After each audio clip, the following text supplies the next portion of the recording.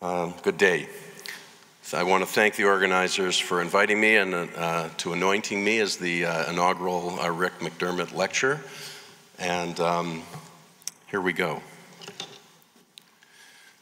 So, uh, the title of my uh, lecture that I was assigned was The Environment in IBD What Every Patient Asks and Every Clinician Should Know.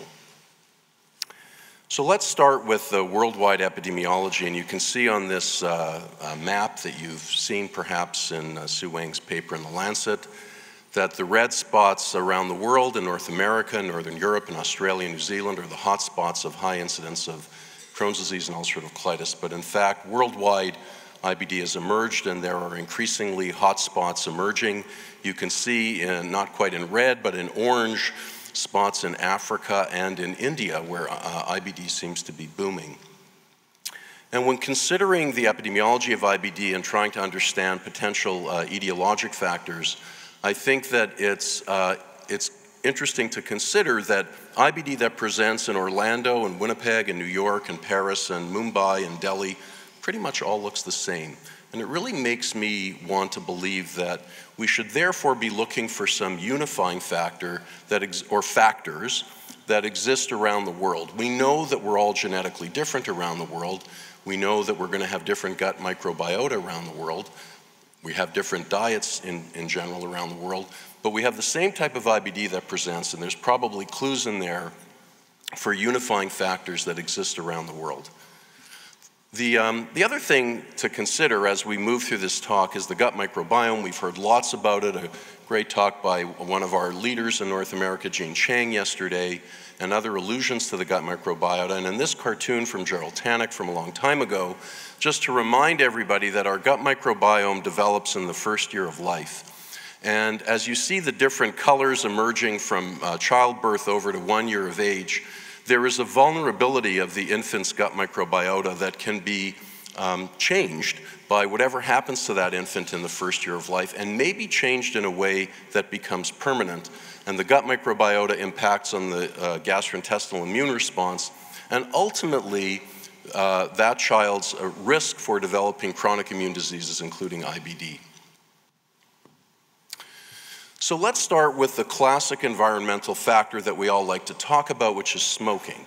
And this is just one of many slides from uh, either Europe or North America that we could show that um, Crohn's disease patients are more likely to be smokers, ulcerative colitis patients are more likely to be ex-smokers, so they've smoked at one time, and that if Crohn's disease patients are smoking, it's going to have a bad course in their disease. And I've never really thought that smoking was a real cause of Crohn's disease. I wondered whether smoking's effect had, was on, on, a, on the vasculature and impacted on the way Crohn's disease behaved once it existed, um, or whether now to consider the gut microbiome, whether smoking has an impact on the gut microbiota. But what's turned me off about smoking uh, lately, although I still want all my patients with Crohn's disease to quit, is that smoking does not seem to be a risk factor at all in the developing world where IBD is really emerging. In fact, amongst the highest incidence, or the, the rate of rise of incidence is highest in places like India and China, compared to in Canada, for instance, the incidence has plateaued. The incidence is still higher per 100,000 in Canada than in India, but the rate of rise has plateaued. So here in this paper from uh, New Delhi, 20% uh, were oral tobacco users or smokers amongst this cohort with Crohn's disease, but there was no impact of oral tobacco or smoking on disease course. And in this uh, comparative study between China and India, which were in person cohorts versus an American survey study that's a little bit complicated, but nonetheless, you can see with the Chinese and Indian data that current smoking was not a risk factor at all for presenting with Crohn's disease compared to the general population, although ex smoking in China was for ulcerative colitis. So I do still uh, recommend that patients with Crohn's disease quit smoking, and I think smoking is bad for you in general. We should all quit smoking for all kinds of reasons. I'm not sure that smoking is an etiologic factor in IBD worldwide. So, what about antibiotics? One of my favorite topics. I'm a bit of an antibiotic nihilist. You can see here in this slide of antibiotic use around the world in red, which is the color of our flag in Canada, you see the uh, Canada's use of antibiotics. And while Canada has amongst the highest incidence rates of IBD in the world, uh, we're not necessarily the leaders in antibiotic use, and you can see on the far right, countries like uh, Saudi Arabia, Greece, South Korea, China have much higher use of antibiotics. And one of the difficulties in tracking antibiotic use in uh, emerging countries is that they can even be purchased without prescriptions. I mean, we can track it with administrative data in Canada, can't be tracked that way in places like China where you can buy it at a corner store. Well, we all know what this is a picture of. This is a picture of Clostridium difficile, and this is a model where antibiotics clearly have uh, triggered a form of colitis, a reversible form of colitis, but nonetheless a form of colitis uh, that we are quite familiar with. And we're also familiar with the fact that when we give people antibiotics, they emerge with fungal infections. Um, and in fact, in this, uh, one of the first studies looking at the fecal fungome from the French group from uh, Harry Sokol, uh, Sokol uh, you can see here there are changes in the uh, fecal fungome amongst patients with IBD, and interestingly, changes in Saccharomyces, an organism to which Crohn's disease patients mount an antibody response that we know is an interesting marker that Crohn's disease may be present, but we don't understand that it has any pathogenetic significance. And this is a really uh, interesting paper by Gevers uh, that was published a few years ago looking at a large cohort of about 400 kids and looking in their stool and mucosally in their rectum and in their terminal ileum at certain uh, species of organisms, and in this case genera, uh, and showing the gains and the reductions in the first panel on the left uh, in different areas of their bowel or stool between patients with Crohn's disease and healthy controls. And in the right-hand panels, what you see is after the administration of antibiotics, all hell breaks loose in terms of what happens with the microbiota, either in the stool, in the uh, rectum, or in the terminal ileum. And in fact, David Relman's group at Stanford has done some interesting antibiotic studies to show that the changes that we see are actually quite prolonged. They can last for months even. So we're in our, this audience addicted to Cipro and Flagyl, uh, mostly uh, not with a clear evidence base for our use for them, but we use them nonetheless. And in fact, the administration of Cipro can change one's microbiota for several months. Now, this is a really uh, important and um, I would actually say stunning uh, paper that was published in JAMA a few years ago. And this used the National Ambulatory Medical Care Survey and National Hospital Ambulatory Medical Care Survey and sampled 184,000 visits in the United States. 12.6% resulted in antibiotic prescriptions, mostly for upper respiratory tract reasons. Collectively, amongst the acute respiratory conditions, 20% um, of, of visits ended up with prescriptions, half of which were considered inappropriate. I've listed half here as being appropriate, which means half were inappropriate. And you can see on the bottom two lines that one third of all prescriptions were considered to be inappropriate, inappropriate antibiotic prescriptions. So we really have to be mindful of this because um, our first tenant in our is primum non nocere. So we need to know what we're doing with uh, our antibiotic uh, prescriptions, and we don't know what harm we're doing. It, we do know we can get patients out of the office faster by giving them an antibiotic prescription, but we're not necessarily helping them.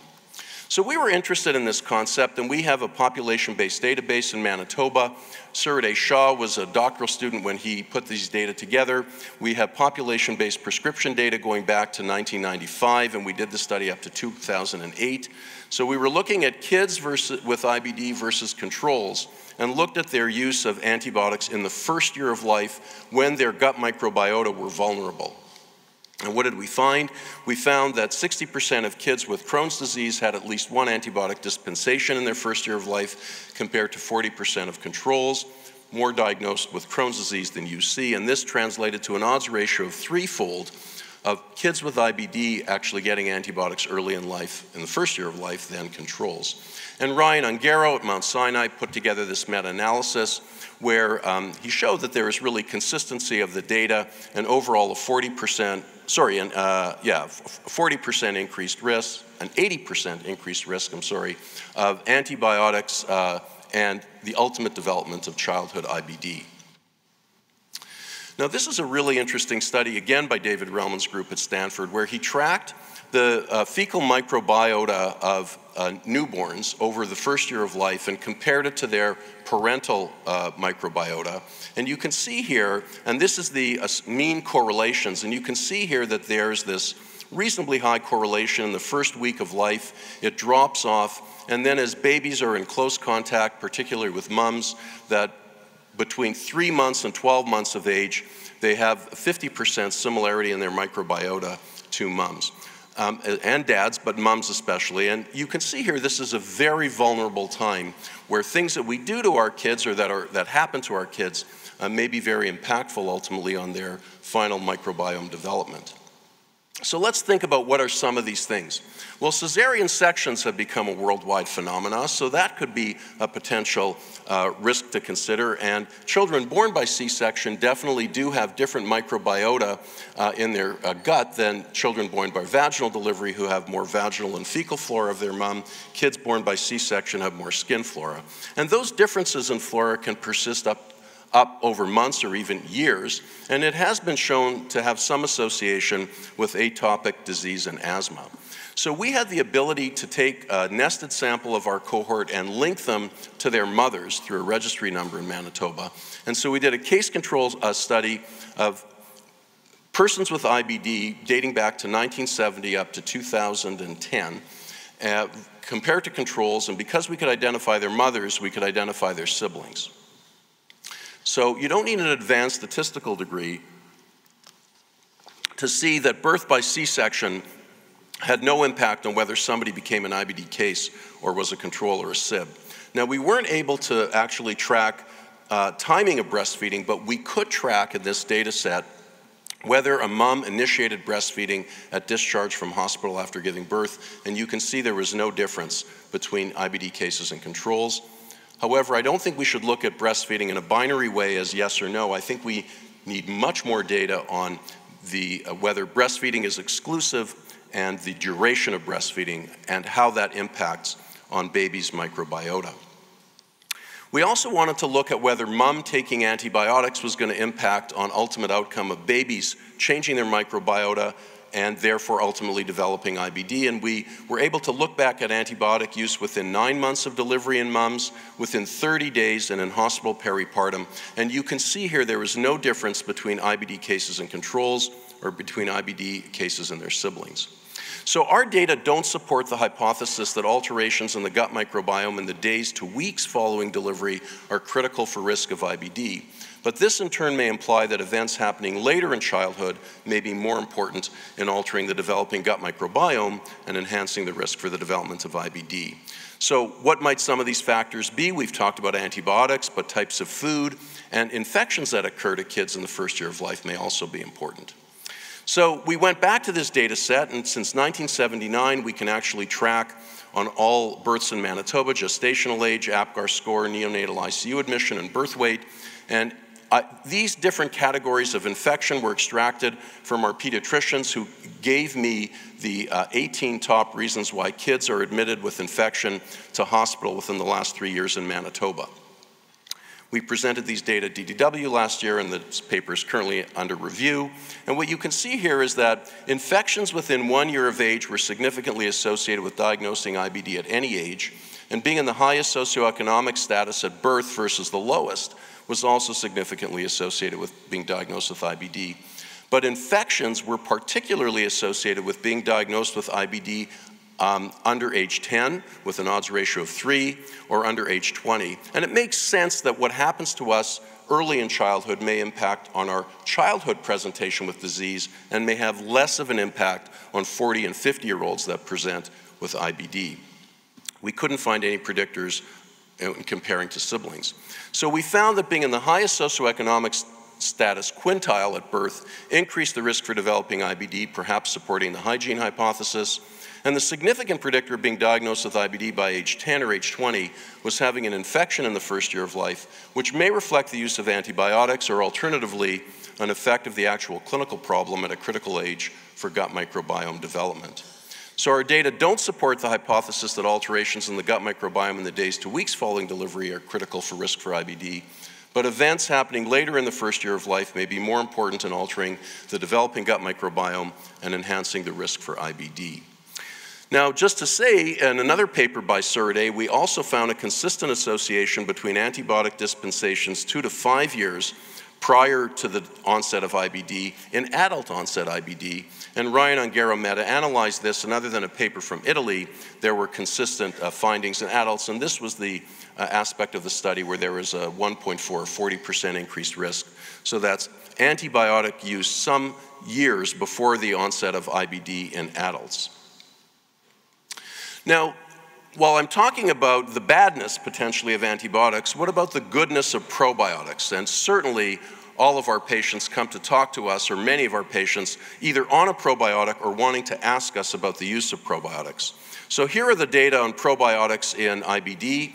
E. coli Nissle, which is not available in Canada, is comparable in these clinical trials to um, inadequate doses of 5-ASA, um, so it has a comparable effect.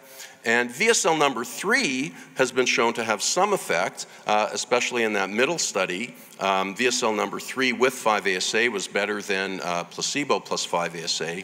However, when I speak to my uh, colleagues in the lab who use VSL number three in laboratory animal models of IBD, they are unable to consistently find the same organisms in VSL number three lots that they get. So I'm not sure about VSL number three. Now, other probiotics, and these are like the ones that most of our patients are on, bifidobacteria and lactobacilli, they don't seem to have had a, positive impact in UC, and no role of these uh, probiotics in Crohn's disease. So when my patients um, ask me should they take a probiotic or they are taking a probiotic, I don't know if it has any risk for them, but I tell them I, I know that it likely has no benefit. If they want to do it, they can do it. I think it likely has, it's not causing any harm, but they may be wasting money they could spend on other things. Now, undoubtedly, the number one question we get in our uh, clinical practices is what should I eat? What did I eat that may have triggered this? Or what should I eat now that I have this disease? And we do know that what we eat clearly impacts on our gut microbiome. And we used to think that our gut microbiota was like a fingerprint that you could alter it during a course of antibiotics, but it would come back to baseline. We have learned that if we dramatically change our diets, we can dramatically change our gut microbiota. So, is the change in diet worldwide uh, a link to the global increase in IBD? There have been studies, there have been ecologic studies, and some uh, case control studies uh, here showing that consumption of vegetables was protective in UC, not in Crohn's disease, and interestingly, not in Asia, and consumption of fruit was protective in UC and Crohn's disease. And fiber and carbohydrates has always been at the top of people's lists, thinking that there's these high fiber diets in places like Africa, and that's why they don't get Western diseases. And we've diminished our fiber intake, and we're eating a lot of refined sugar and simple sugars here in the West. And increased fiber certainly can increase the production of short chain fatty acids, which can be um, uh, a healthy environment, for instance, for the overgrowth of uh, potentially protective organisms like firmicutes. And in the nurse's health study, uh, the ingestion of fiber in the highest quintile led to a 40% reduction in Crohn's disease risk. Um, there wasn't a risk reduction seen with fiber intake in ulcerative colitis. So, should we tell our patients to eat fiber? I remember the days when we used to tell our patients with Crohn's disease and strictures to not eat fiber because we were afraid they were going to obstruct. And we told our patients with ulcerative colitis who were active to not eat fiber because it was going to make their colons work harder. This is a meta-analysis and systematic review of fiber studies in IBD, and I should point out that while this is overall negative, um, in both Crohn's disease and ulcerative colitis. These are not rigorous control trials, and these are not the kind of studies that have been discussed for the last two days with the biologic agents that we've seen. And so I am an advocate of my patients with IBD eating fiber, whether they have Crohn's disease or UC.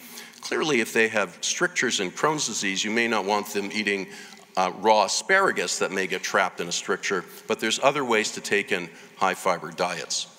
Fat too has been looked at, and it seems to be that there is an association with um, the intake of omega 6 fatty acids or, um, or uh, the polyunsaturated fatty acids uh, as opposed to omega 3 fatty acids.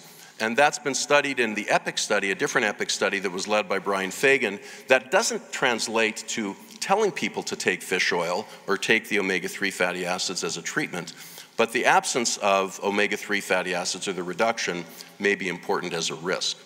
But here's where I think the real punchline is on diet. And it's not the macronutrients that we've all been uh, focused on, but it's these other elements in food that have emerged around the world.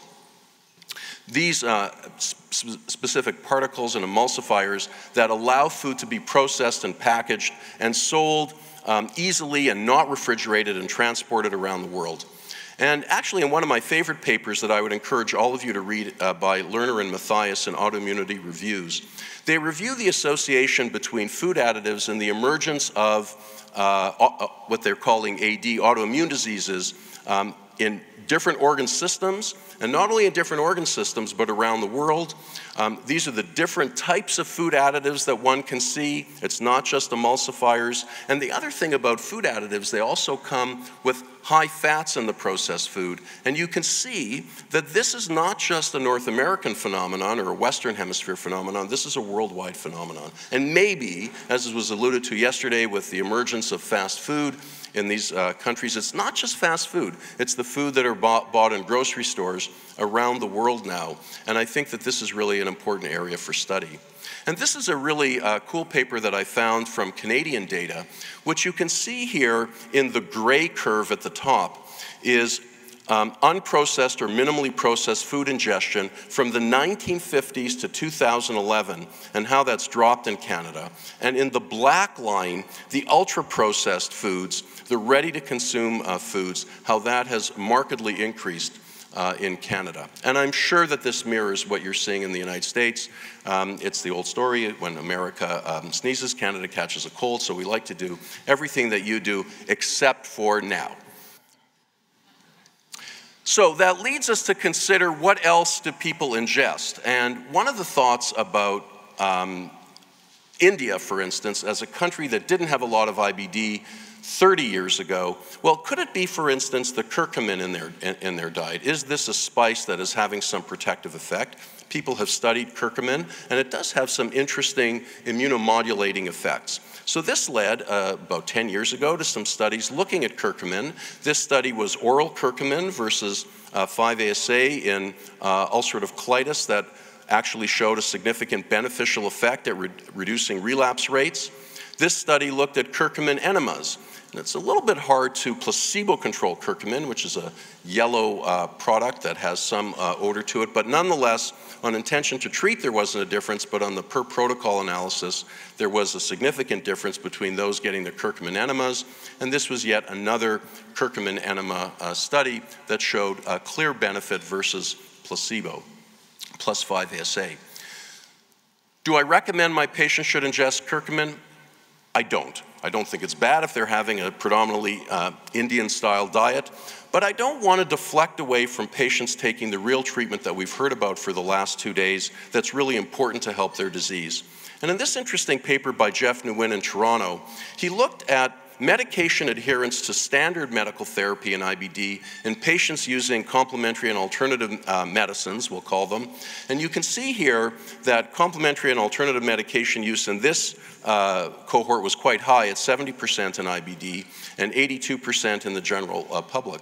But those patients who used uh, CAM with an IBD were significantly uh, less likely to be adherent. They were half as likely to be adherent to their regular medications than people who were not using CAM. And so I think that this is a deflection. Many of our patients are using CAM, we, we know that. In a study that we published in Gut a few years ago, many of our patients are using CAM, but not for their IBD. So if they're using CAM because they think it's just generally making them feel well and they understand that they need the regular therapy for their IBD, that's okay. I think we heard of a case somewhere, and I, I, can't remember where in these last two days, of somebody who went off their medicine and went on their CBD oil. I can tell you with the legalization of marijuana in Canada two months ago, this is, I wouldn't say an epidemic, I don't want to overstate it, but this is a big thing. People are thinking that this is going to be a new wave and cool way to treat their uh, diseases. So, finally, to close on um, mental health and whether this is an environmental issue that is uh, increasing the risk of IBD. The Manitoba IBD cohort study was a study of 380 people we followed uh, longitudinally every six months for 12 years with surveys and every year with an in person interview. And at the outset, we asked people their perceptions of what caused their IBD, and 70% said it was stress or worry, um, 46% said it was diet. Now, in another study that we call the Living with uh, Manitoba Living with IBD study, we presented some data recently at DDW from this study. We followed patients every two weeks. We followed 155 patients every two weeks with electronic surveys. And when patients reported that they were flaring, we asked them what their perception was of their flare. 60% uh, again, thought it was stress or worry that triggered their flare. And we have other data, and other groups have data to show that there is a, a, a very strong association between a high perception of stress and flaring of symptomatic disease, but not necessarily inflammatory disease. Patients get symptoms, uh, and they may get an increase in inflammatory disease. We don't know that as clearly. So IBD patients may have symptoms, they may have inflammation, and sometimes the symptoms and inflammation go together. And I think that we're all aware of this important brain-gut connection that is um, bilateral. The gut impacts on the brain and the brain impacts on the gut. And we know that biologically there's many different mechanisms through which stress can impact on the gut. In this interesting paper that John Walker and our group published from the Manitoba IBD cohort study, um, John showed that compared to population controls, IBD patients were significantly more likely to have a mood disorder several years prior to the onset of their IBD. Not just within that year, while they're symptomatic and it may be depressing them, but several years. And in a more recent uh, large cohort study that I'm doing together with Ruth Ann Marrie, who's an expert MS epidemiologist, we're looking at MS, IBD, and rheumatoid arthritis in unison. We have a cohort of about 1,000 persons. And we're looking at psychiatric comorbidity and what we're calling IMIDs. The word IMID stands for immune mediated inflammatory diseases on this slide. So you can see at the time of diagnosis, and these are administrative data, there's a bump in the diagnosis of depression and general anxiety disorder. Not a big surprise. That line stays uh, elevated above the general population post diagnosis. But the interesting thing on this slide is to the left. Five years prior to the diagnosis of these chronic immune diseases, these patients have an increased prevalence of psychiatric uh, diagnoses. And so I think our psychiatrists have lagged behind us in understanding the basic biology of their diseases, but there may be some important intersection that leads to an increased risk for IBD. Okay, so, to close off uh, this session, and what do I recommend? What do I tell my patients, which was the, it's taken me 20 minutes to get here, 30 minutes to get here. Miguel, I'm sorry, but this was what I was supposed to talk about. What do I recommend to patients and to physicians who are treating patients? Well, I recommend no smoking, and that's true. And Steve, close your ears. That's true for my UC patients as well, because just smoking is bad, and there's got to be other ways that we can make people better. I don't know, and I don't believe necessarily that smoking is a cause for IBD because it doesn't seem to be a, an association in the developing world. I do recommend judicious, judicious use of antibiotics, and I recommend that uh, for many reasons, not least of which is the epidemic of C. difficile, but perhaps the impact it may have on IBD. Probiotics don't help. I don't know if they hurt, but I'm certainly not an advocate. I don't think we should behave like doctors who give antibiotic prescriptions to get patients out of the office. I don't think we should tell our patients who have some symptoms, oh, why don't you take a probiotic? You know, that can't hurt. I don't do that. I think that patients should have a high fiber, high fruit, high vegetable diet, even once they're diagnosed. And I tell them to eat everything that they can tolerate. Of course, less processed food is better for all of us, and natural foods are better. I don't advocate for canned products the evidence is not robust that any help. And in fact, we start to see signals that some help and then they go away. Uh, andrographis was one that our friend Bill Sandborn led a study on, looked very promising. It's kind of dwindled away. So I think we really need strong evidence that things work before we start just telling people to adopt them. And I think we should inquire about stress and mental health, and we should intervene. And as Millie alluded to, we may not be able to intervene, but we need to have a friend that we can access who can intervene for us. So, um, what are our action plans to help us understand IBD? What research uh, should we be undertaking? Well, I think we need to understand what are children eating in the first year of life. I think we need to understand what role exclusive breastfeeding has versus a mix of breastfeeding and table diets, and to what extent this has changed in the last 30 years. Um, we need to understand how much food additives kids are getting in. What is the trajectory of use of antibiotics in the first year of life? What types of antibiotics are used? How many repeated courses there are? And this is true both in kids and adults. And what may confound this is the availability of antibiotics without prescriptions in some of the countries we're most interested in. I think we need to do more work with the food industry. We already know of the rise of Western fast food, but to what extent are Westerners and Easterners eating non natural packaged foods at home? What is the rate of psychiatric comorbidity antedating IBD in emerging IBD countries? Does it change the outcomes? We know of data from the West that it does. And does treating psychiatric comorbidity change the outcomes? We don't have that data. But I'll tell you that the epidemiologic data from India say that India has the highest rates of depression and suicide in the world. How that may tie into their emergence of IBD, not sure.